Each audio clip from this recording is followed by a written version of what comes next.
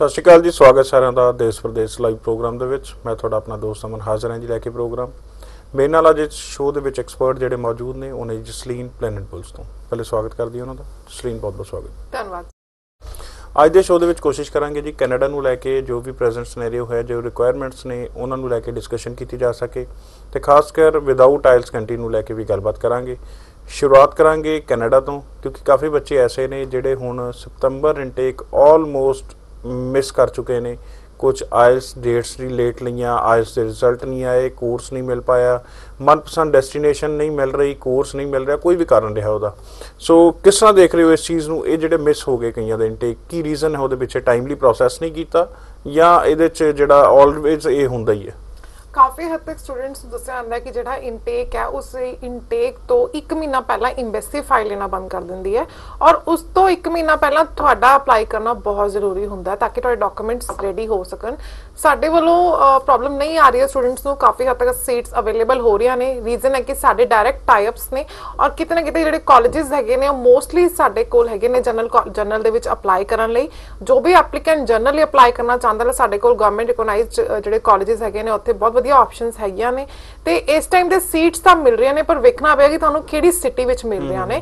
Because students ਕਈ ਵਾਰ ਹੁੰਦਾ ਕਿ ਹਾਂਜੀ ਇੱਕ ਹੀ ਗੱਲ ਤੇ ਹੁੰਦਾ ਕਿ ਹਾਂਜੀ ਮੈਂ ਜਾਣਾ ਹੀ ਸਿਰਫ ਟੋਰਾਂਟੋ ਹੈ ਜਾਂ ਮੈਂ ਜਾਣਾ ਹੀ ਸਿਰਫ ਜਿਹੜਾ ਕਿ ਆਪਣਾ ਸਿਟੀ ਆਫ ਲੰਡਨ ਵਿੱਚ ਅਪਲਾਈ ਕਰਨਾ ਜਾਂ ਵੈਨਕੂਵਰ ਚ ਅਪਲਾਈ ਕਰਨਾ ਇੱਕ ਸਪੈਸਿਫਿਕ ਜਗ੍ਹਾ ਜਿਹੜੀ ਫੜੀ ਹੋਏ ਉੱਥੇ ਪ੍ਰੋਬਲਮ ਆ ਸਕਦੀ ਹੈ। ਪਰ ਅਸੀਂ ਵੀ ਕੋਸ਼ਿਸ਼ ਕਰਾਂਗੇ ਕਿ ਜਿੱਥੇ ਤੁਸੀਂ ਜਾਣਾ ਚਾਹੁੰਦੇ ਹੋ ਉਸ ਸਿਟੀ ਵਿੱਚ ਅਸੀਂ ਤੁਹਾਨੂੰ ਕਾਲਜ ਪ੍ਰੋਵਾਈਡ ਕਰ ਸਕੀਏ।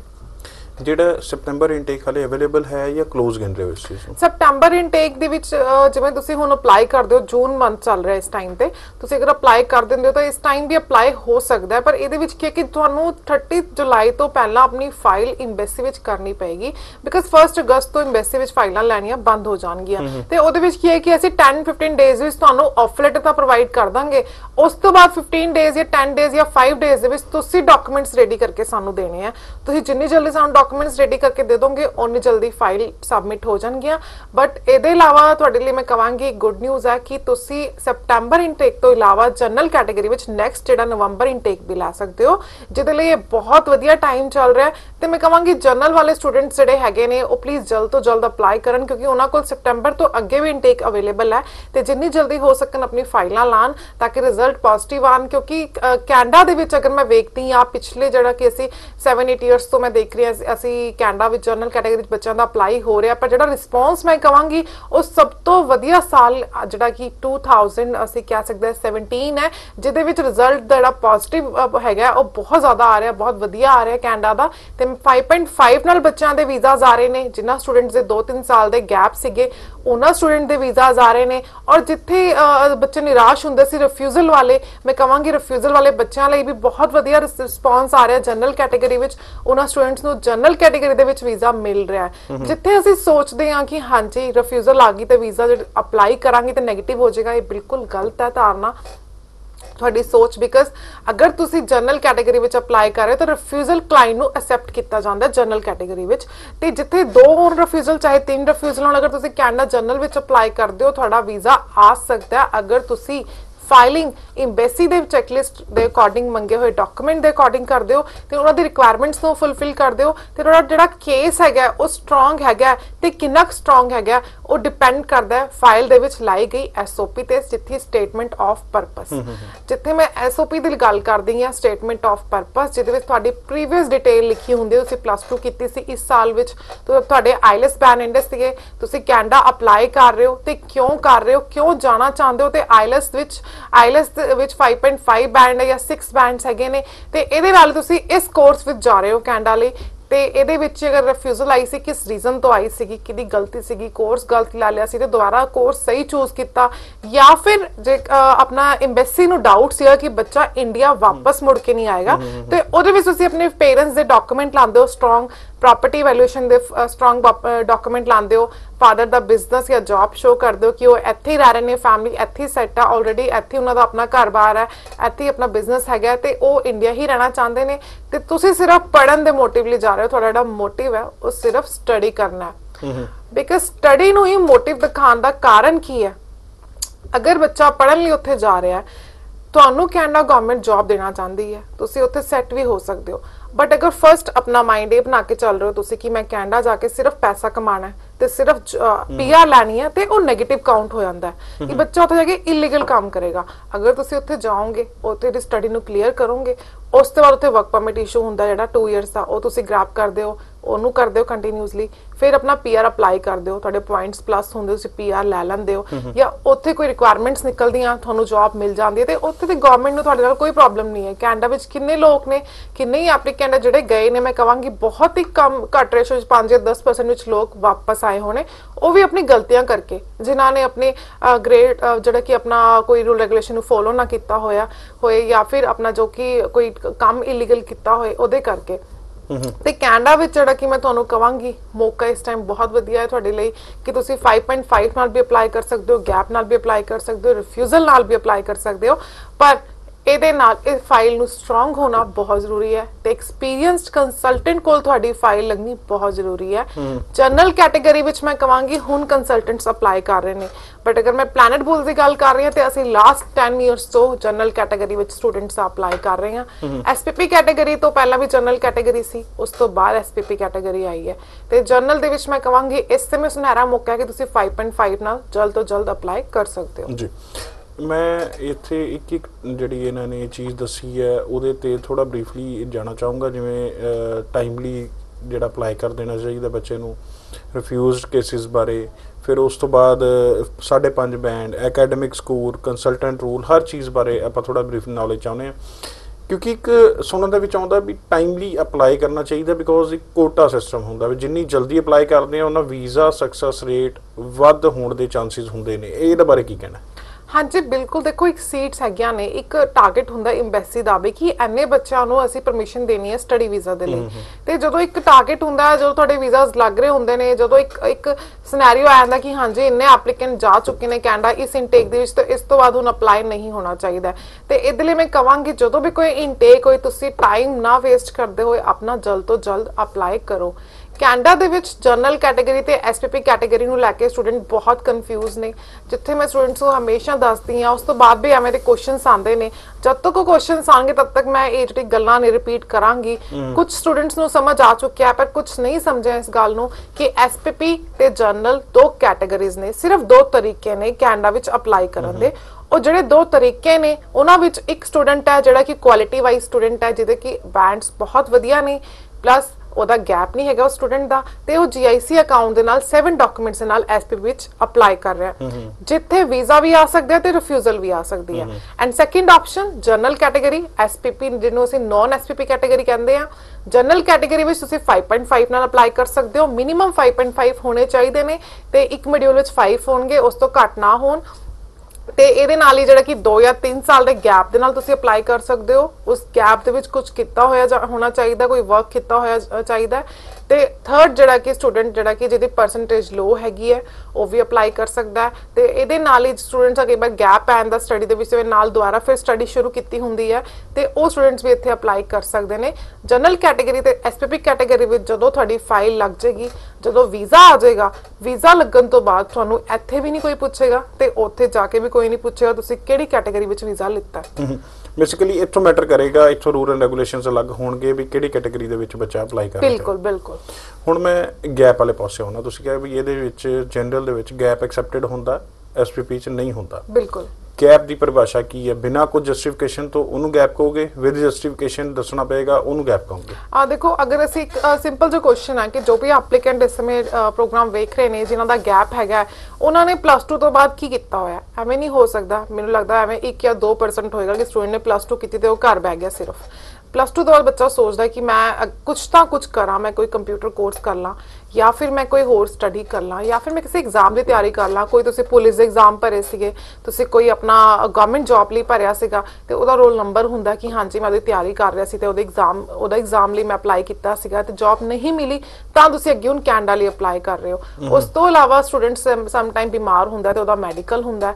ਤੁਸੀਂ ਕੋਈ ਜੌਬ ਕਰ ਰਹੇ ਹੁੰਦੇ ਹੋ ਕੋਈ ਟ੍ਰੇਨਿੰਗ ਲੈ ਰਹੇ ਹੁੰਦੇ ਹੋ ਉਸ ਟ੍ਰੇਨਿੰਗ ਸਰਟੀਫਿਕੇਟ ਨਾਲ ਲਾ ਸਕਦੇ ਹੋ ਕੋਈ ਜੌਬ ਕਰ ਰਹੇ ਸੀ ਜੌਬ ਐਕਸਪੀਰੀਅੰਸ ਨਾਲ ਲੱਗ ਸਕਦਾ। ਤੇ ਮੇਰੇ ਕੋਲ ਕੁਝ ਸਟੂਡੈਂਟਸ ਐਵੇਂ ਦੇ ਸੀਗੇ ਜਿਨ੍ਹਾਂ ਨੇ ਜੌਬ ਕੀਤੀ ਪਰ ਜੌਬ ਸਲਿੱਪਸ ਲਿੱਤੀਆਂ ਸੀ ਸੈਲਰੀ ਸਲਿੱਪਸ ਲਿੱਤੀਆਂ ਸੀ। ਤੇ ਮੈਂ ਸਟੂਡੈਂਟਸ ਨੂੰ ਕਵਾਂਗੀ ਤੁਸੀਂ ਕਿਤੇ ਵੀ ਜੌਬ ਕਰ ਰਹੇ ਹੋ ਜਾਂ ਫਿਰ ਕੋਈ ਕੋਰਸ ਕਰ ਰਹੇ ਹੋ ਉਹ ਇੱਕ ਰਜਿਸਟਰ ਕੰਪਨੀ ਵਿੱਚ ਕਰੋ ਜਿੱਥੇ ਤੁਹਾਡੇ ਪ੍ਰੂਫ ਲੱਗ ਸਕਣ ਕੱਲ ਨੂੰ ਜਦੋਂ ਤੁਸੀਂ ਸ਼ੋਅ ਕਰਨਾ ਹੈ ਤੁਹਾਨੂੰ ਕੋਈ ਵੇਖ ਨਹੀਂ ਰਿਹਾ ਐਮਬੈਸੀ ਆਫੀਸਰ ਕਿ ਤੁਸੀਂ ਉੱਥੇ ਜੌਬ ਕਰ ਰਹੇ ਹੋ। ਜਿਹੜਾ ਤੁਸੀਂ ਐਵੀਡੈਂਸ ਦੋਗੇ ਪ੍ਰੂਫ ਦੋਗੇ ਉਸ ਤੋਂ ਇਹ ਕਲੀਅਰ ਹੋਏਗਾ ਵੀ ਤੁਸੀਂ ਕੋਈ ਜੌਬ ਜਾਂ ਐਕਸਪੀਰੀਅੰਸ ਤੁਹਾਡੇ ਕੋਲ ਹੈਗਾ। ਮਤਲਬ ਜਸਟੀਫਿਕੇਸ਼ਨ ਚਾਹੀਦੀ ਹੈ। ਜਸਟੀਫਿਕੇਸ਼ਨ ਚਾਹੀਦੀ ਹੁੰਦੀ ਹੈ ਤੇ ਉਹ ਤੁਸੀਂ ਲਾ ਸਕਦੇ ਹੋ। ਹਾਂ ਅਗਰ 6 ਮਹੀਨੇ ਦੀ ਜਿਹੜੀ 2-3 ਮਹੀਨੇ ਦੀ ਹੈ 4 ਮਹੀਨੇ ਜਿਹੜੀ ਜਸਟੀਫਿਕੇਸ਼ਨ ਆ ਉਹਦੀ ਕੋਈ ਲੋੜ ਨਹੀਂ ਹੈ। ਕਈ ਵਾਰ ਤੁਸੀਂ ਆਈਲੈਸ ਦੀ ਤਿਆਰੀ ਕਰ ਰਹੇ ਹੋ ਉਹ ਵੀ ਸ਼ੋ ਕਰ ਸਕਦੇ ਹੋ ਕਿ ਮੈਂ ਇਸ ਟਾਈਮ ਆਈਲੈਸ ਦੀ ਤਿਆਰੀ ਕਰ ਰਿਹਾ ਸੀਗਾ ਤੇ ਉਹਦਾ ਐਗਜ਼ਾਮ ਦਿੱਤਾ। ਉਹ ਵੀ ਜਸਟੀਫਾਈ ਹੋਏਗਾ। ਤੇ ਇਹਦੇ ਨਾਲ ਹੀ ਜਿਹੜਾ ਕਿ ਸਟੂਡੈਂਟਸ ਕੋਈ ਵੀ ਅਗਰ ਕੋਈ ਹੋਰ ਬਿਜ਼ਨਸ ਵਿੱਚ ਹੈਲਪ ਕਰ ਰਹੇ ਸੀ ਫਾਦਰ ਨਾਲ ਐਗਰੀਕਲਚਰ ਵਿੱਚ ਲੈਂਡ ਵਿੱਚ ਆਪਣਾ ਹੈਲਪ ਕਰ ਰਹੇ ਸੀ ਪੇਰੈਂਟਸ ਨਾਲ ਉਹ ਵੀ ਤੁਸੀਂ ਸ਼ੋ ਕਰ ਸਕਦੇ ਹੋ ਕਿ ਹਾਂ ਤੁਸੀਂ ਆਪਣੇ ਘਰ ਦੀ ਜਿਹੜੀ ਖੇਤੀਬਾੜੀ ਸੀ ਉਹਨੂੰ ਸੰਭਾਲ ਰਹੇ ਸੀਗੇ। ਤੇ ਹੁਣ ਇਸ ਤੋਂ ਬਾਅਦ ਤੁਸੀਂ ਅਪਲਾਈ ਕਰ ਰਹੇ ਹੋ ਬਿਕਾਜ਼ ਕਾਫੀ ਮੇਰੇ ਕੋਲ ਐਵੇਂ ਦੇ ਸਟੂਡੈਂਟਸ ਆਏ ਸੀ ਜਿਨ ਜੋ ਫਾਈਨੈਂਸ਼ੀਅਲੀ ਸਟਰੋਂਗ ਨਹੀਂ ਸੀਗੇ ਤੇ ਉਹਨਾਂ ਨੇ ਜੌਬ ਕੀਤੀ 2-3 ਸਾਲ ਤੇ ਉਸ ਤੋਂ ਬਾਅਦ ਉਹ ਜਿਹੜਾ ਕਿ ਅਫੋਰਡ ਕਰ ਪਾਏ ਕੈਨੇਡਾ ਅਪਲਾਈ ਕਰਨ ਲਈ। ਤੁਸੀਂ ਕਿਹਾ 5.5 ਬੈਂਡ ਨਾਲ ਵੀ ਇੱਥੇ ਅਪਲਾਈ ਹੁੰਦਾ ਵੀਜ਼ਾ ਹੁੰਦਾ। ਹਾਂਜੀ। ਤੁਸੀਂ ਜਿਹੜੀ ਪ੍ਰੋਫਾਈਲ ਦੀ 5.5 ਬੈਂਡ ਨਾਲ ਵੀਜ਼ਾ ਲਏ ਹੈ ਮੈਂ ਥੋੜਾ ਜਿਹਾ ਉਹਨਾਂ ਪ੍ਰੋਫਾਈਲਸ ਬਾਰੇ ਜਾਨਣਾ ਚਾਹੂੰਗਾ ਦੋ ਤਿੰਨ ਪ੍ਰੋਫਾਈਲ ਬਾਰੇ ਡਿਸਕਸ਼ਨ ਕਰਕੇ ਦੱਸੀਏ ਕਿਉਂਕਿ ਮਿਲਦੀ ਜੁਲਦੀ ਕਈਆਂ ਦੀ ਪ੍ਰੋਫਾਈਲ ਹੁੰਦੀ ਹੈ ਉਹਨਾਂ ਨੂੰ ਪਤਾ ਲੱਗ ਸਕਦਾ ਬਿਲਕੁਲ। ਦੇਖੋ ਇੱਕ ਪ੍ਰੋਫਾਈਲ ਸੀਗੀ ਜਿਵੇਂ ਫਰਸਟ ਮੈਂ ਸਟਾਰਟ ਕਰਾਂਗੀ ਗੈਪ ਤੋਂ ਜਿਨ੍ਹਾਂ ਦਾ 3 ਸਾਲ ਦਾ ਗੈਪ ਸੀਗਾ। 3 ਇਅਰਸ ਦੇ ਵਿੱਚ ਉਹਨਾਂ ਨੇ 1 ਸਾਲ ਉਹ ਆਪਣਾ ਆਈਲੈਸ ਵਗੈਰਾ ਦੀ ਤਿਆਰੀ ਕਰ ਰਹੇ ਸੀਗੇ ਘਰੇ ਸੀਗੇ ਤੇ ਉਸ ਵਾਰ ਵਿਚਾਰ ਬਣਾਇਆ ਜੌਬ ਕੀਤੀ ਜਾਏ। ਤੇ ਉਹਨਾਂ ਨੇ 2 ਸਾਲ ਜੌਬ ਕੀਤੀ ਸੀਗੀ। ਤੇ 3 ਸਾਲ ਦਾ ਗੈਪ ਸੀਗਾ। ਤੇ 3 ਸਾਲ ਦਾ ਗੈਪ ਉਹਨਾਂ ਨੇ ਦਿਖਾਇਆ ਕਿ ਉਹਨਾਂ ਨੇ ਜੌਬ ਕੀਤੀ ਸੀ ਉੱਥੇ। ਤੇ 3 ਇਅਰ ਗੈਪ ਤੋਂ ਬਾਅਦ ਉਹਨਾਂ ਦਾ ਵੀਜ਼ਾ ਆਇਆ। ਉਸ ਤੋਂ ਬਾਅਦ ਸੈਕਿੰਡ ਪ੍ਰੋਫਾਈਲ ਸੀ ਜਿਹਨਾਂ ਸਟੂਡੈਂਟ ਦੇ ਤਿੰਨ ਵਾਰ ਰਿਫਿਊਜ਼ਲ ਆ ਚੁੱਕੀ ਸੀ। ਤਿੰਨ ਵਾਰ ਰਿਫਿਊਜ਼ਲ ਆਉਣ ਤੋਂ ਚੌਥੀ ਵਾਰ ਪਲੈਨ ਬੁਲ ਸਪਲਾਈ ਕੀਤਾ ਤੇ ਵੀਜ਼ਾ ਆ ਗਿਆ। ਇਸੇ ਤਰੀਕੇ ਨਾਲ ਦੋ ਰਿਫਿਊਜ਼ਲ ਸੀਗੀਆਂ 2 ਸਾਲ ਦਾ ਗੈਪ ਵੀ ਸੀਗਾ ਪਲੱਸ ਰਿਫਿਊਜ਼ਲ ਦੇ ਨਾਲ। ਰਿਫਿਊਜ਼ਲ ਤੋਂ ਪਹਿਲਾ ਗੈਪ ਸੀਗਾ ਫਿਰ ਦੋ ਰਿਫਿਊਜ਼ਲ ਸੀਗੀਆਂ ਐਂਡ ਜਿਹੜਾ ਕਿ ਥਰਡ ਟਾਈਮ ਪਲੈਨਪੁਲਸ ਕੋਲ ਅਪਲਾਈ ਕੀਤਾ ਗਿਆ ਤੇ ਸਟੂਡੈਂਟ ਦਾ ਵੀਜ਼ਾ ਆਇਆ। ਇੱਕ ਐਪਲੀਕੈਂਟ ਸੀ ਜਿਨ੍ਹਾਂ ਨੇ 10th ਕੀਤੀ। 10th ਤੋਂ ਬਾਅਦ ਜਿਹੜਾ ਕਿ ਆਪਣਾ 2 ਇਅਰ ਦਾ ਗੈਪ ਪਾਇਆ ਸੀਗਾ। 2 ਇਅਰਸ ਦੇ ਗੈਪ ਤੋਂ ਬਾਅਦ ਉਹਨੇ ਪਲੱਸ 2 ਕੀਤੀ। ਤੇ ਮਤਲਬ ਕਿ 3 ਸਾਲ ਬਾਅਦ ਕਹਿ ਸਕਦੇ ਆ ਪਲੱਸ 2 ਹੋਈ ਉਹਨਾਂ ਦੀ। ਤੇ ਉਹ 3 ਜਿਹੜੇ ਕਿ 2 ਇਅਰਸ ਸੀ ਉਹ ਵਿੱਚ ਇਨ ਬਿਟਵੀਨ ਉਹਨਾਂ ਨੇ ਕੋਈ ਕੰਪਿਊਟਰ ਕੋਰਸ ਕੀਤਾ ਸੀ ਉਹ ਸ਼ੋ ਕੀਤਾ। ਤੇ ਕੁਝ ਫਾਈਨੈਂਸ਼ੀਅਲੀ ਪ੍ਰੋਬਲਮ ਕਰਕੇ ਉਹਨਾਂ ਨੇ ਪਲੱਸ 2 ਵਿੱਚ ਨਹੀਂ ਕੀਤੀ ਸੀ। ਉਸ ਤੋਂ ਬਾਅਦ ਉਹਨਾਂ ਨੇ ਕੋਈ ਲੈਂਡ ਸੇਲ ਹੋਈ ਤੇ ਉਹਨਾਂ ਕੋਲ ਜਿਹੜਾ ਕਿ ਫਾਈਨੈਂਸ਼ੀਅਲੀ ਸਟਰੋਂਗ ਹੋਏ। ਤੇ ਉਹਨਾਂ ਨੇ ਫਿਰ ਅਪਲਾਈ ਕੀਤਾ ਕੈਨੇਡਾ ਲਈ ਤੇ ਉਹਨਾਂ ਦਾ ਵੀ ਸਟੂਡੈਂਟ ਦਾ ਵੀਜ਼ਾ ਆ ਚੁੱਕਿਆ ਸੀਗਾ। ਬੇਸਿਕਲੀ ਜਿਵੇਂ ਹੁਣ ਤੁਸੀਂ ਦੱਸਿਆ ਤਿੰਨ ਵਾਰੀ ਰਿਫਿਊਜ਼ ਦਾ ਵੀਜ਼ਾ ਆਇਆ ਦੋ ਵਾਰੀ ਰਿਫਿਊਜ਼ ਦਾ ਵੀਜ਼ਾ ਆਇਆ। ਕੀ ਡਿਫਰੈਂਸ ਦੇਖਦੇ ਹੋ ਆਪਣੇ ਕੰਸਲਟੈਂਸੀ ਦੇ ਵਿੱਚ? ਆਪਣੀ ਟੀਮ ਦੇ ਵਿੱਚ ਬਾਕੀਆਂ ਨਾਲੋਂ?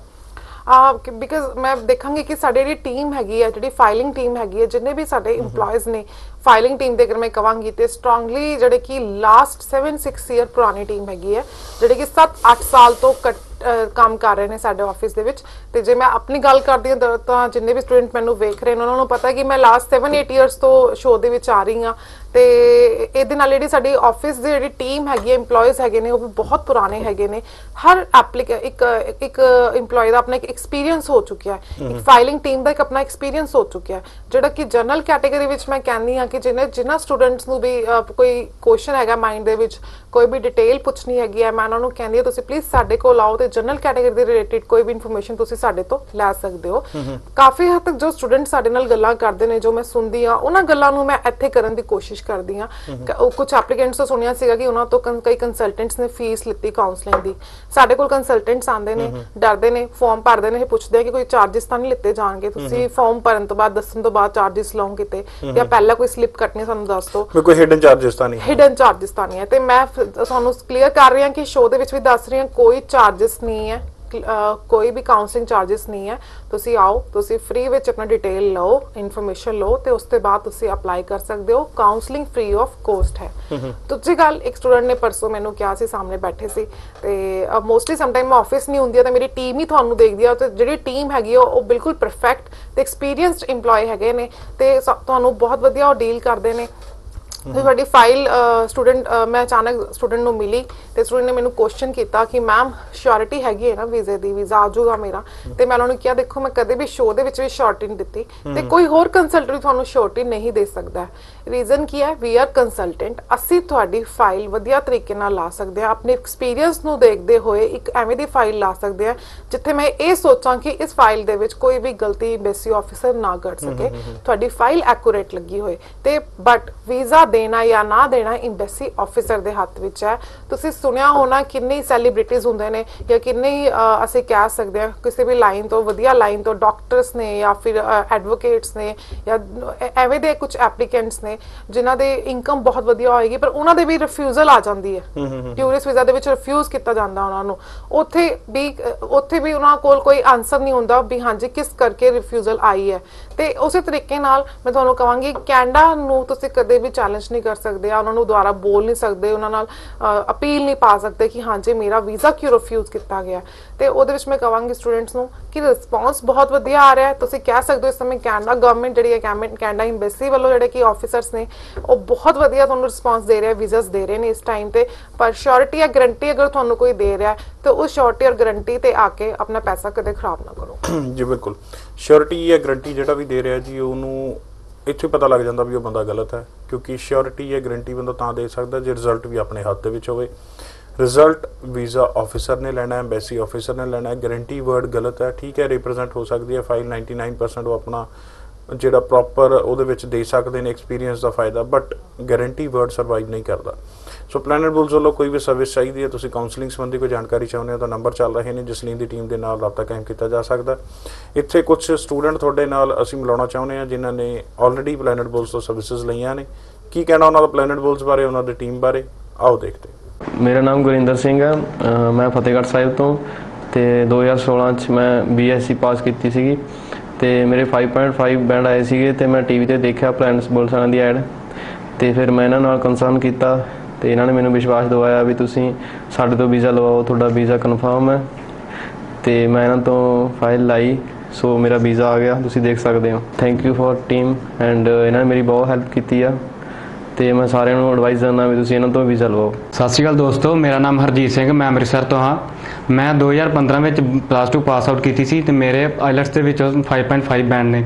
ਮੈਂ ਬਹੁਤ ਸਾਰੇ ਏਜੰਟਾਂ ਦੇ ਕੋਲ ਗਿਆ, ਪਰ ਕਿਸੇ ਨੇ ਵੀ ਮੇਰੀ ਫਾਈਲ ਲੈਣ ਤੋਂ ਇਨਕਾਰ ਕਰ ਦਿੱਤਾ। ਉਹਨਾਂ ਦਾ ਕਹਿਣਾ ਸੀ ਕਿ 5.5 ਤੇ ਕੈਨੇਡਾ ਦਾ ਵੀਜ਼ਾ ਨਹੀਂ ਲੱਗ ਸਕਦਾ।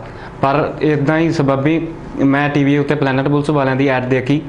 ਤੇ ਇਹ ਐਡ ਦੇਖ ਕੇ ਮੈਂ ਆਪਣੇ ਪੇਰੈਂਟਸ ਦੇ ਨਾਲ ਇਹਨਾਂ ਕੋਲ ਅਪਰੋਚ ਕੀਤਾ ਤੇ ਆ ਕੇ ਇਹਨਾਂ ਨਾਲ ਗੱਲਬਾਤ ਕੀਤੀ। ਪਲੈਨਟ ਬੁਲਸ ਵਾਲਿਆਂ ਨੇ ਬਹੁਤ ਵਧੀਆ ਸਰਵਿਸ ਦਿੱਤੀ। ਇਹਨਾਂ ਮੈਨੂੰ ਯਕੀਨ ਦਿਵਾਇਆ ਕਿ ਤੁਹਾਡਾ 5.5 ਬੈਂਡ ਤੇ ਕੈਨੇਡਾ ਦਾ ਵੀਜ਼ਾ ਲੱਗ ਸਕਦਾ ਹੈ। ਇਹਨਾਂ ਦੀ ਸਰਵਿਸ ਬਹੁਤ ਵਧੀਆ ਸੀ। ਇਹਨਾਂ ਨੇ ਜਿਉਂ ਕਿਹਾ, ਸਾਰਾ ਲੀਗਲ ਤਰੀਕੇ ਦੇ ਨਾਲ ਕਾਰਵਾਈ ਕਰਕੇ ਮੇਰਾ 5.5 ਤੇ ਵੀਜ਼ਾ ਕੈਨੇਡਾ ਦਾ ਲਗਵਾ ਦਿੱਤਾ। ਮੇਰੇ ਵੀਰ ਭਰਾ ਜਿਨ੍ਹਾਂ ਦੇ 5.5 ਬੈਂਡ ਨੇ, ਉਹ ਨਿਰਾਸ਼ ਨਾ ਹੋਣ ਤੇ ਇੱਕ ਵਾਰ ਆ ਕੇ ਇਹਨਾਂ ਕੋਲ ਜ਼ਰੂਰ ਅਪਰੋਚ ਕਰ। ਸਤਿ ਸ੍ਰੀ ਅਕਾਲ ਦੋਸਤੋ, ਮੇਰਾ ਨਾਮ ਜਸਨਪ੍ਰੀਤ ਸਿੰਘ ਹੈ ਤੇ ਮੈਂ ਲੁਧਿਆਣੇ ਤੋਂ ਹਾਂ। ਮੈਂ ਟੂ- 2015 ਦੇ ਵਿੱਚ ਆਪਣੀ ਪਲੱਸ 2 ਪਾਸ ਆਊਟ ਕੀਤੀ ਸੀ ਤੇ ਉਸ ਤੋਂ ਬਾਅਦ ਮੈਂ ਆਈਲਟਸ ਕੀਤੀ ਤੇ ਆਈਲਟਸ ਦੇ ਵਿੱਚ ਮੈਨੂੰ 5.5 ਬੈਂਡ ਆਏ ਤੇ ਉਸ ਤੋਂ ਬਾਅਦ ਮੈਂ ਕਾਫੀ ਕੰਸਲਟੈਂਟਸ ਨੂੰ ਮਿਲਿਆ, ਪਰ ਕਿਸੇ ਨੇ ਵੀ ਮੇਰੀ ਫਾਈਲ ਲੈਣ ਤੋਂ ਮਨਾ ਕਰਤਾ। ਉਸ ਤੋਂ ਬਾਅਦ ਮੈਂ ਪਲੈਨਿਸ ਬੁਲਸ ਦੀ ਟੀਵੀ ਤੇ ਐਡ ਦੇਖੀ ਤੇ ਮੈਂ ਇਹਨਾਂ ਨੂੰ ਆ ਕੇ ਮਿਲਿਆ। ਤੇ ਇਹਨਾਂ ਨੇ ਮੈਨੂੰ ਯਕੀਨ ਦਿਵਾਇਆ ਕਿ ਮੇਰਾ 5.5 ਤੇ ਕੈਨੇਡਾ ਦਾ ਵੀਜ਼ਾ ਲੱਗ ਸਕਦਾ ਹੈ ਤੇ ਉਸ ਤੋਂ ਬਾਅਦ ਮੈਂ ਆਪਣੇ ਡਾਕੂਮੈਂਟ ਇਹਨਾਂ ਨੂੰ ਦਿੱਤੇ ਤੇ ਇਹਨਾਂ ਨੇ ਮੈਨੂੰ ਬਹੁਤ ਵਧੀਆ ਸਰਵਿਸ ਦਿੱਤੀਆਂ। ਤੇ ਅੱਜ ਮੇਰਾ ਕੈਨੇਡਾ ਦਾ ਵੀਜ਼ਾ ਆ ਗਿਆ ਹੈ ਤੇ ਜਿਨ੍ਹਾਂ ਦੇ 5.5 ਬੈਂਡ ਹਨ ਤੇ ਮੈਂ ਉਹਨਾਂ ਨੂੰ ਦੱਸਣਾ ਚਾਹੁੰਦਾ ਕਿ ਉਹ ਇੱਕ ਵਾਰ ਆ ਕੇ ਇਹਨਾਂ ਨੂੰ ਜ਼ਰੂਰ ਮਿਲਣ। ਹੈਲੋ ਫਰੈਂਡਸ ਮੇਰਾ ਨਾਮ ਮਨਪ੍ਰੀਤ ਕੌਰ, ਮੈਂ ਫਰੀਦਕੋਟ ਡਿਸਟ੍ਰਿਕਟ ਤੋਂ, ਮੈਂ ਪਲੈਨਟ ਬੁਲਸ ਦੀ ਐਡ ਦੇਖੀ ਟੀਵੀ ਤੇ ਔਰ ਮੈਂ ਕਈ ਫਰੈਂਡਸ ਨੂੰ ਵੀ ਮਿਲੀ। ਉਸ ਤੋਂ ਬਾਅਦ ਮੈਨੂੰ, ਮੈਂ ਇਹਨਾਂ ਨੂੰ ਕਾਲ ਕੀਤੀ ਔਰ ਪੁੱਛਿਆ ਮੇਰੇ ਇੱਕ ਮੋਡਿਊਲ ਚੋਂ 5 ਬੈਂਡ ਸੀ ਔਰ ਓਵਰਆਲ 6 ਸੀ। 2 ਸਾਲ ਦਾ ਗੈਪ ਸੀ ਮੇਰੀ ਸਟੱਡੀ 'ਚ ਔਰ ਨਾਨ ਮੈਡੀਕਲ ਨਾਲ ਮੈਂ ਪਲੱਸ 2 ਕੀਤੀ ਸੀ। ਬਾਅਦ ਚ ਮੈਂ ਇਹਨਾਂ ਨੂੰ ਮਿਲੀ ਔਰ ਇਹਨਾਂ ਤੋਂ ਪੁੱਛਿਆ ਕਿ ਮੇਰਾ ਵੀਜ਼ਾ ਲੱਗ ਸਕਦਾ। ਇਹਨਾਂ ਨੇ ਮੈਨੂੰ ਵਿਸ਼ਵਾਸ ਦਿਵਾਇਆ ਕਿ ਹਾਂਜੀ, ਤੁਹਾਡਾ ਵੀਜ਼ਾ ਲੱਗ ਸਕਦਾ। 2 ਸਾਲ ਦੇ ਗੈਪ ਬਾਅਦ ਵੀ। ਬਟ ਇਹਨਾਂ ਨੇ ਇਹ ਵੀ ਕਿਹਾ ਕਿ ਐਸਪੀਪੀ ਕੈਟਾਗਰੀ ਚ ਨਹੀਂ ਤੁਹਾਡਾ ਫਾਈਲ ਲੱਗ ਸਕਦੀ। ਤੋਂ ਇਹਨਾਂ ਨੇ ਨਾਨ ਐਸਪੀਪੀ ਕੈਟਾਗਰੀ ਚ ਮੇਰੀ ਫਾਈਲ ਲਾਈ। ਇਸ ਤੋਂ ਬਾਅਦ ਅੱਜ ਮੈਂ ਆਪਣਾ ਵੀਜ਼ਾ ਲੈ ਚੁੱਕੀ ਹਾਂ। ਫਰੈਂਡਸ ਜਦੋਂ ਜੇ ਵੀ ਤੁਹਾਡੀ 2 ਸਾਲ ਦਾ ਗੈਪ ਹੈ ਜਾਂ ਤੁਹਾਡੇ ਕਿਸੇ ਵੀ ਮੋਡਿਊਲ ਚੋਂ ਘੱਟ ਬੈਂਡ ਸਕੋਰ ਹੈ ਤਾਂ ਪਲੀਜ਼ ਤੁਸੀਂ ਆ ਕੇ ਇਹਨਾਂ ਨੂੰ ਮਿਲੋ ਤੇ ਇਹਨਾਂ ਨਾਲ ਕੰਸਲਟ ਕਰੋ ਤੁਹਾਡਾ ਵੀ ਵੀਜ਼ਾ ਲੱਗ ਸਕਦਾ thank you hello my name is Pradeep Singh I am from Batala I had complete my plus 2 in 2014 then I applied for Australia and New Zealand my case is two I am refused first time from Australia and second time from New Zealand then I go to many consultants and they gave suggest to me uh, to give a, uh, to to give a IELTS test again. But uh, but planners board company give me a suggestion. Then you are applied your case in case in general category and you are getting a you are getting a visa. So so with the help of a planner company I got a Canada visa today. So I am very very so I am very happy today. Uh, then uh, my visa uh, in in my hand. Many of uh, many of my friends and uh, many of my friends and uh, other other students are confused. There have a there have a 5.5 band and they do not applied for a SPP category. I suggest to suggest to them you are applied in a, in a journal case. You are getting you are getting your visa. So please come here in a, a company and get your visa and make your degree dreams success. Hello friends मेरा नाम है Ramandeep Kaur and मैं ਮੈਂ ਸੰਗਰੂਰ ਤੋਂ belong ਕਰਦੀ ਹਾਂ। ਮੈਂ ਤੁਹਾਨੂੰ ਸਾਰਿਆਂ ਨੂੰ ਦੱਸਦੇ ਹੋਏ ਬੜੀ ਖੁਸ਼ ਫੀਲ ਕਰ ਰਹੀ ਹਾਂ ਕਿ ਮੇਰਾ ਕੈਨੇਡਾ ਦਾ ਵੀਜ਼ਾ ਆ ਚੁੱਕਿਆ ਹੈ ਤੇ ਮੈਂ ਆਪਣੇ ਕੈਨੇਡਾ ਦੀ ਫਾਈਲ ਪਲੈਨਟ ਬੁਲਸ ਤੋਂ ਅਪਲਾਈ ਕੀਤੀ ਸੀ। ਮੈਨੂੰ ਬਹੁਤ ਸਾਰੇ ਲੋਕਾਂ ਨੇ ਕਿਹਾ ਕਿ ਅ, ਤੇਰੇ 5.5 ਬੈਂਡਸ ਆਏ ਹੈ ਐਂਡ ਤੇਰਾ ਇੱਕ ਸਾਲ ਦਾ ਗੈਪ ਵੀ ਹੋ ਚੁੱਕਿਆ ਹੈ ਤੇ ਰਿਫਿਊਜ਼ਲ ਚਾਂਸਸ ਜ਼ਿਆਦਾ ਹੁੰਦੇ ਨੇ ਬਟ ਮੈਂ ਇਹਨਾਂ ਦੇ ਉੱਤੇ ਟਰਸਟ ਕਰਕੇ ਆਈ। ਜੋ ਵੀ ਸਾਰੇ ਇਹਨਾਂ ਦੇ ਕੁਲੀਗਸ ਨੇ ਬਹੁਤ ਹੀ ਜ਼ਿਆਦਾ ਵਧੀਆ ਨੇ ਸਾਰਿਆਂ ਨੇ ਬਹੁਤ ਜ਼ਿਆਦਾ ਕੋਆਪਰੇਟ ਕੀਤਾ ਤੇ ਮੈਨੂੰ ਵਿਸ਼ਵਾਸ ਦਵਾਇਆ ਕਿ ਤੁਸੀਂ ਡੈਫੀਨੇਟਲੀ ਕੈਨੇਡਾ ਦਾ ਵੀਜ਼ਾ ਲੈ ਸਕਦੇ ਹੋ ਤੇ ਹੁਣ ਤੁਸੀਂ ਦੇਖ ਸਕਦੇ ਹੋ ਕਿ ਮੈਨੂੰ ਕੈਨੇਡਾ ਦਾ ਵੀਜ਼ਾ ਮਿਲ ਚੁੱਕਿਆ ਹੈ। ਵਿਦਆਊਟ ਐਨੀ ਰਿਫਿਊਜ਼ਲ ਬਿਨਾਂ ਕਿਸੇ ਪਰੇਸ਼ਾਨੀ ਤੋਂ ਮੈਨੂੰ ਬਹੁ- ਦੱਸਦੇ ਬਹੁਤ ਖੁਸ਼ੀ ਹੋ ਰਹੀ ਹੈ ਕਿ ਅੱਜ ਮੇਰੇ ਕੋਲ ਕੈਨੇਡਾ ਦਾ ਵੀਜ਼ਾ ਆ ਚੁੱਕਾ ਸਤਿ ਸ਼੍ਰੀ ਅਕਾਲ ਜੀ ਸਾਰਿਆਂ ਨੂੰ। ਮੇਰਾ ਨਾਮ ਰਾਮਸ਼ਪਾਲ ਸਿੰਘ ਆ ਤੇ ਮੈਂ ਲਾਸਟ ਈਅਰ ਆਪਦੀ ਪਲੱਸ 2 ਪਾਸ ਆਊਟ ਕੀਤੀ ਆ ਸੁਪਰ ਮੈਡੀਕਲ ਸਟਰੀਮ ਚ। ਤੇ ਮੇਰੇ ਆਇਲਸ ਚੋਂ 5.5 ਬੈਂਡ ਆਏ ਆ ਤੇ ਮੈਂ ਇਹਨੂੰ ਲੈ ਕੇ ਬਹੁਤ ਕਨਫਿਊਜ਼ ਸੀਗਾ ਕਿ ਮੇਰਾ ਇੱਥੇ ਵੀਜ਼ਾ ਆਊਗਾ ਵੀ ਕਿ ਨਹੀਂ ਆਊਗਾ। ਫਿਰ ਮੈਂ ਇੱਕ ਦੋ ਮਹੀਨੇ ਤਾਂ ਆਪਦੇ ਫਰੈਂਡਸ ਨਾਲ ਤੇ ਫੈਮਿਲੀ ਨਾਲ ਡਿਸਕਸ ਕਰਦਾ ਰਿਹਾ। ਤੇ ਫਿਰ ਉਸ ਟਾਈਮ ਤੇ ਮੈਂ ਪ੍ਰੈਂਟ ਸਕੂਲ ਦੀ ਐਡ ਦੇਖੀ ਟੀਵੀ ਤੇ ਤੇ ਉਹਦੇ ਨਾਲ ਹੀ ਅਸੀਂ ਇਹਨਾਂ ਬਾਰੇ ਡਿਸਕਸ ਕਰਨ ਲੱਗ ਗਏ। ਫਿਰ ਇੱਕ ਦਿਨ ਮੈਂ ਆਪਦੀ ਫੈਮਿਲੀ ਨਾਲ ਆ ਕੇ ਇਹਨਾਂ ਨਾਲ ਵਿਜ਼ਿਟ ਕੀਤਾ ਤੇ ਇਹਨਾਂ ਨੇ ਕਾਉਂਸਲਿੰਗ ਕੀਤੀ, ਮੇਰੀ ਪ੍ਰੋਫਾਈਲ ਚੈੱਕ ਕੀਤੀ, ਮੇਰੀ ਪ੍ਰੋਫਾਈਲ ਦੇ ਹਿਸਾਬ ਨਾਲ ਇਹਨਾਂ ਨੇ ਮੈਨੂੰ ਦੱਸਿਆ ਵੀ ਤੁਹਾਨੂੰ ਆ ਆ ਕੋਰਸ ਸੂਟ ਕਰਦੇ ਆ। ਉਹਨਾਂ 'ਚ ਮੇਰਾ ਪ੍ਰੀ ਹੈਲਥ ਸਾਇੰਸ ਦੇ ਵਿੱਚ ਥੋੜਾ ਜਿਹਾ ਇੰਟਰਸਟ ਬਣਿਆ। ਮੈਂ ਇਹਨਾਂ ਨੂੰ ਕਿਹਾ ਵੀ ਮੇਰਾ ਆਹ ਕੋਰਸ ਤੁਸੀਂ ਸਿਲੈਕਟ ਕਰ ਦਿਓ। ਤੇ ਇਹਨਾਂ ਨੇ ਜੋ ਵੀ ਅਸੀਂ ਕਿਹਾ, ਉਹ ਕੀਤਾ ਤੇ ਟੋਟਲੀ ਟਰਸਟਵਰਦੀ ਪਰਸਨ ਆ, ਜਿਹੜੇ ਵੀ ਮੇਰੇ ਦੋਸਤ ਮਿੱਤਰ ਦੇ ਸਾਢੇ ਪੰਜ ਬੈਂਡ ਆਇਆ, ਉਹ ਇੱਕ ਵਾਰੀ ਜ਼ਰੂਰ ਇੱਥੇ ਵਿਜ਼ਿਟ ਕਰਨ, ਕਿਉਂਕਿ ਇਹ ਜੋ ਵੀ ਕਹਿੰਦੇ ਆ, ਉਹ ਕਰਦੇ ਵੀ ਆ ਤੇ ਇਹਨਾਂ ਨੇ ਮੇਰਾ ਵੀਜ਼ਾ ਵੀ ਲਗਵਾਇਆ। ਆ ਤੁਸੀਂ ਮੇਰਾ ਵੀਜ਼ਾ ਵੀ ਦੇਖ ਸਕਦੇ ਹੋ। ਥੈਂਕ ਯੂ ਸੋ ਇਹ ਸੀ ਜੀ ਕੋਈ ਸਟੂਡੈਂਟ ਜਿਨ੍ਹਾਂ ਨੇ ਆਪਣਾ ਐਕਸਪੀਰੀਅੰਸ ਤੁਹਾਡੇ ਤੱਕ ਸ਼ੇਅਰ ਕੀਤਾ, ਤੁਸੀਂ ਵੀ ਪਲੈਨਟ ਬੁੱਲ ਵੱਲੋਂ ਕੋਈ ਸਰਵਿਸ ਚਾਹੁੰਦੇ ਹੋ ਅਸੈਸਮੈਂਟ ਚਾਹੁੰਦੇ ਹੋ ਕਾਉਂਸਲਿੰਗ ਚਾਹੁੰਦੇ ਹੋ, ਤਾਂ ਇਹਨਾਂ ਦੇ ਨੰਬਰਾਂ ਤੇ ਕਾਲ ਕਰਕੇ ਆਪਣੀ ਜਾਣਕਾਰੀ ਸਾਂਝੀ ਕੀਤੀ ਜਾ ਸਕਦੀ ਹੈ। ਜਸਲੀਨ ਵੈਸੇ ਤਾਂ ਆਲਮੋਸਟ ਸਮਾਂ ਪੂਰਾ ਹੋ ਜਾਏਗਾ ਥੋੜਾ ਜਿਹਾ ਸਮਾਂ ਬਚਿਆ। ਮੈਂ ਕੋਈ ਖਾਸ ਕਾਉਂਸਲਿੰਗ ਕੋਈ ਚਾਹਣਾ ਜਿਹੜਾ ਤੁਸੀਂ ਮੈਸੇਜ ਦੇਣਾ ਚਾਹੋ ਬੱਚਿਆਂ ਤੱਕ, ਜਿਹੜਾ ਮੈਂ ਸਵਾਲ ਦੇ ਜ਼ਰੀਏ ਨਹੀਂ ਪੁੱਛ ਪਾਇਆ? ਮੈਂ ਸਟੂਡੈਂਟਸ ਨੂੰ ਇਹ ਕਹਾਂਗੀ ਸ਼ੋਅ ਦੇ ਜ਼ਰੀਏ ਸਿਰਫ ਅਸੀਂ ਇਹ ਦੱਸ ਸਕਦੇ ਹਾਂ ਕਿ ਕਿਹਨਾਂ ਬੱਚਿਆਂ ਦੇ ਵੀਜ਼ਾਸ ਲੱਗੇ ਨੇ ਰਿਸਪੌਂਸ ਕਿਵੇਂ ਦਾ ਤੇ ਇਹਦੇ ਨਾਲ ਹੀ ਕਿ ਜਿਹੜੇ ਬੱਚੇ ਅਪਲਾਈ ਕਰਨਾ ਚਾਹੁੰਦੇ ਹੋ, ਕਿਵੇਂ ਅਪਲਾਈ ਕਰ ਸਕਦੇ ਪਰ ਇੱਕ ਫੁੱਲ ਇਨਫੋਰਮੇਸ਼ਨ ਤੁਹਾਡੇ ਪ੍ਰੋਫਾਈਲ ਨੂੰ ਵੇਖ ਕੇ ਮੈਂ ਦੱਸ ਸਕਦੀ ਹਾਂ ਤੇ ਮੈਂ ਸਟੂਡੈਂਟਸ ਨੂੰ ਕਵਾਂਗੀ ਪਲੀਜ਼ ਆਪਣੇ ਡਾਕੂਮੈਂਟੇਸ਼ਨਸ ਦੇ ਨਾਲ ਅਪਾਇੰਟਮੈਂਟ ਲੈ ਕੇ ਆਣ ਅਪਾਇੰਟਮੈਂਟ ਦਾ ਮਤਲਬ ਹੈ, ਤੁਸੀਂ ਅਗਰ ਸਕਰੀਨ ਤੇ ਚੱਲ ਰਹੇ ਨੰਬਰ ਤੇ ਪਲੀਜ਼ ਕਾਲ ਕਰਕੇ ਆਓ। ਰੀਜ਼ਨ ਕੀ ਹੈ ਰਸ਼ ਬਹੁਤ ਜ਼ਿਆਦਾ ਹੈ। ਮੈਂ ਨਹੀਂ ਚਾਹੁੰਦੀ ਕਿ ਜਿਹੜੇ ਦੂਰੋਂ ਦੂਰੋਂ ਸ਼ਹਿਰੋਂ ਤੁਸੀਂ ਆ ਰਹੇ ਹੋ, ਇੰਨੀ ਗਰਮੀ ਤੋਂ ਆ ਰਹੇ ਹੋ, ਫਿਰ ਤੁਹਾਨੂੰ ਵੇਟ ਕਰਨਾ ਪਏ। ਸ਼ਾਮੀ ਜਦ ਤੁਹਾਨੂੰ ਜਾਣਾ ਪੈਂਦਾ, ਤੁਹਾਨੂੰ ਕਿਤੇ ਕਿਤੇ ਟੈਨਸ਼ਨ ਹੁੰਦੀ ਹੈ ਕਿ ਹਾਂਜੀ, ਅਸੀਂ ਇੰਨੇ ਦੂਰ ਸ਼ਹਿਰੋਂ ਤੋਂ ਆਏ ਆ ਤੇ ਹੁਣ ਅਗਰ ਅਸੀਂ ਜਾਵਾਂਗੇ ਤੇ ਸਾਨੂੰ ਕਿੰਨੀ ਲੇਟ ਅਸੀਂ ਉੱਥੇ ਪਹੁੰਚਾਂਗੇ। ਕਾਫੀ ਸਟੂਡੈਂਟਸ ਦੇ ਅਸੀਂ ਜਦੋਂ ਗੱਲ ਸੁਣਦੇ ਆ ਮੈਮ ਮੈਂ ਫਿਰੋਜ਼ਪੁਰ ਤੋਂ ਆਈ ਹਾਂ, ਅਸੀਂ ਅਗਰ ਵਾਪਸ ਜਾਣਾ ਹੈ, ਸਾਨੂੰ ਉੱਥੋਂ ਬੱਸ ਨਹੀਂ ਮਿਲਣੀ ਹੈ। ਜਾਂ ਕੋਈ ਵੀ ਡਿਟੇਲ ਹੁੰਦੀ ਮੈਂ ਚਾਹੁੰਦੇ ਹੋ ਪ੍ਰੋਬਲਮ ਕ੍ਰੀਏਟ ਨਾ ਹੋਏ। ਤੁਸੀਂ ਪਲੀਜ਼ ਫੋਨ ਕਰਕੇ ਆਓ। ਕੋਸ਼ਿਸ਼ ਕਰੋ ਅਗਰ ਫੋਨ ਕੀਤਾ ਹੋਏਗਾ ਅਪਾਇੰਟਮੈਂਟ ਲੈ ਕੇ ਦੱਸੋ ਤੁਸੀਂ ਇਸ ਸ਼ਹਿਰ ਤੋਂ ਆ ਰਹੇ ਹੋ ਤੇ ਤੁਹਾਨੂੰ ਇੰਨੀ ਇਸ ਟਾਈਮ ਤੱਕ ਵਾਪਸੀ ਜਾਣਾ ਹੈ। ਇਹ ਜਿਹੜੀ ਗੱਲਾਂ ਨੇ ਛੋਟੀਆਂ ਛੋਟੀਆਂ ਨੇ ਪਰ ਤੁਹਾਡੇ ਲਈ ਵੱਡੀਆਂ ਨੇ। ਮੈਂ ਤੁਹਾਡੇ ਵੱਲੋਂ ਮੈਂ ਕਹਾਂਗੀ ਪਲੀਜ਼ ਤੁਸੀਂ ਜਦੋਂ ਵੀ ਆਣਾ ਹੈ ਤੁਸੀਂ ਪਲੀਜ਼ ਇਨਫੋਰਮ ਕਰਕੇ ਆਓ। ਇਹਦੇ ਨਾਲ ਹੀ ਮੈਂ ਸਟੂਡੈਂਟਸ ਨੂੰ ਦੱਸਣਾ ਚਾਹੁੰਦੀ ਹਾਂ ਕਿ ਕੈਨੇਡਾ ਦੇ ਨਾਲ ਹੁਣ ਜਿਹੜਾ ਕਿ ਆਸਟ੍ਰੇਲੀਆ ਵਿੱਚ ਵੀ ਤੁਸੀਂ ਅਪਲਾਈ ਕਰ ਸਕਦੇ ਹੋ। ਆਸਟ੍ਰੇਲੀਆ ਵਿੱਚ ਤੁਸੀਂ 6 ਜਾਂ 6.5 ਬੈਂਡਸ ਦੇ ਨਾਲ ਇਸ ਟਾਈਮ 2016 ਪਾਸ ਆਊਟ ਬੱਚੇ ਅਪਲਾਈ ਕਰ ਸਕਦੇ ਨੇ।